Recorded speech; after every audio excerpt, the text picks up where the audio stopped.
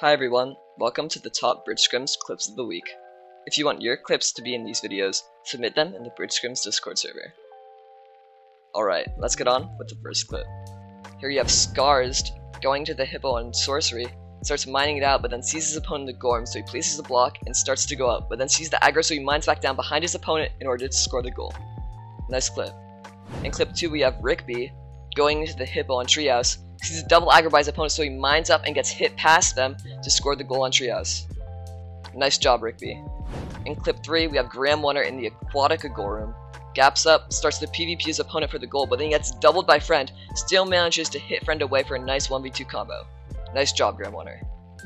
In clip 4, we have Systim going to his opponent's side in Galaxy, he starts to gap up and then sees the aggro, so he jumps past his opponent, boxes it behind him in order to score the goal.